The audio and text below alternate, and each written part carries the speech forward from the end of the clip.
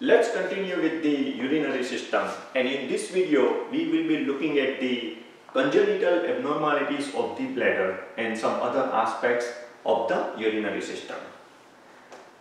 The congenital abnormalities of the bladder include exstrophy, diverticula, double bladder, obstructing valves, stricture at the bladder neck.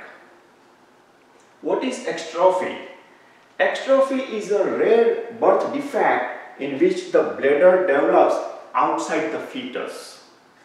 The exposed bladder cannot store urine or function normally resulting in urinary leakage.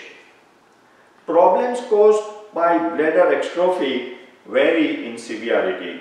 They can include defects in the bladder, genital and pelvic bones as well as defects in the intestine and reproductive organs. Simple. Exstrophy may be spotted on a routine ultrasound during pregnancy. Sometimes the defect isn't visible until the baby is born. Babies born with bladder exstrophy will need surgery to correct the defects. Exstrophy is a rare but treatable urinary tract malformation in which the front wall of the bladder is absent. And you may have a case where even the abdominal wall that has to be there in front might also be absent. And I'll show you the picture. So this is the uh, bladder exstrophy where you don't see the front wall of the abdominal. So what happens is that uh, the bladder opens directly to the exterior of the body. Let's move on to the another disorder.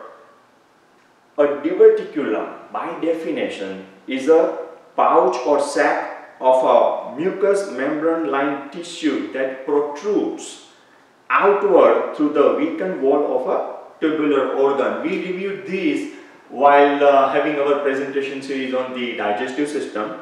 The bladder can also be the site of a diverticula.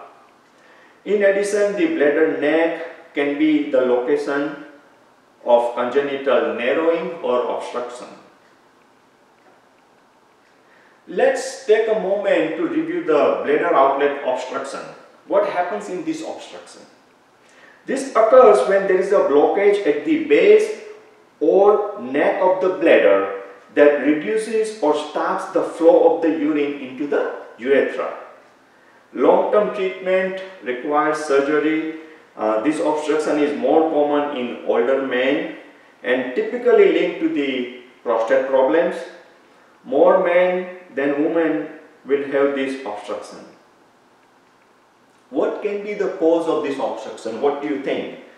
You know the answer. Bladder stones, enlarged prostate gland, scar tissue in the urethra, tumor that can be in the rectum, uterus or cervix, as well as the prostate cancer. So, what do you feel when you have this obstruction? What are the signs? What are the symptoms? So, you may have a a pain when uh, passing the urine, uh, feel like you have a full bladder but cannot empty completely, uh, trouble urinating, feel like some urine remains even after having voided, uh, have urine flow that starts and stops, and you may end up frequently voiding small amount of urine. So you may have abnormal abdominal growth or bladder that is larger than normal and these two are the typically found common conditions that may lead to the obstruction of the bladder or named as bladder outlet obstruction. And of course with men the enlarged prostate, with women uh, prolapsed bladder can be diagnosed with uh, this obstruction. So what doctors do to diagnose the doctors will start with the blood test to check your kidney damage, urine culture to test for the infection, and the required imaging test like ultrasound of kidney and bladder to find out where the urine blockage is, uh, urine test to find even blood in the urine, x-rays, so on and so forth. What is the course of treatment? It is connected with the cause of the problem. So the cath is inserted in most cases and what happens the cath can relieve the blockage. As I sometimes walk and block the view but I like to talk. I'm having these slides that way you can see uh, what we are talking here. So in some cases what happens a tube is splashed into the bladder through a belly through the belly area and this tube can uh, be a suprapubic cath that can drain the bladder to remedy the situation.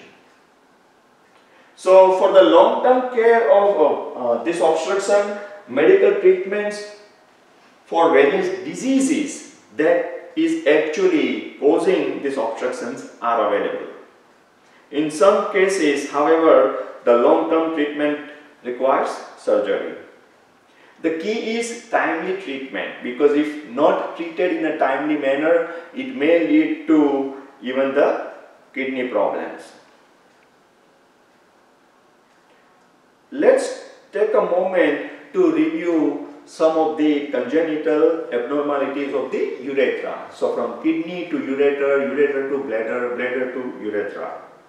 Urethral abnormalities may include an absent or abnormally closed urethra. Other urethral abnormalities involve abnormally open urethras. So those with, uh, um, these are the gender specifics and I am just narrating a couple of these. So gentlemen may have epispadias, that is a condition where the urethra opens on the upper or dorsal surface of the penis. Or you may have a hypospadias, a condition where the urethra opens on the underneath or ventral surface of the penis. Okay, and generally the treatment is surgery, post-surgery, things resume as normal.